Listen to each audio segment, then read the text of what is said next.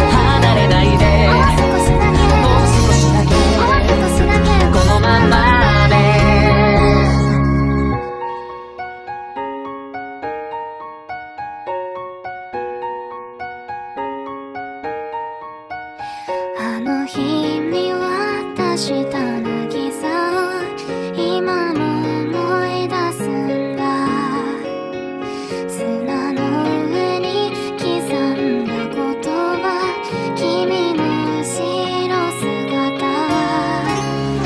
パッと光って咲いた花火を見ていた。